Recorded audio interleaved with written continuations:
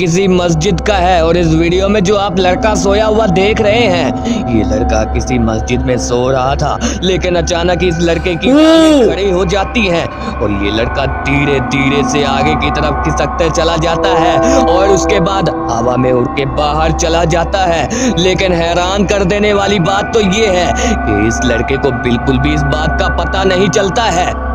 आप बाहर वाले सीसीटीवी की फुटेज देख सकते हैं। बाहर कैमरा ने रिकॉर्ड कर लिया है कि ये लड़का हवा में उड़ते हुए बाहर तक आ चुका है। भाई, ये क्या सीन है?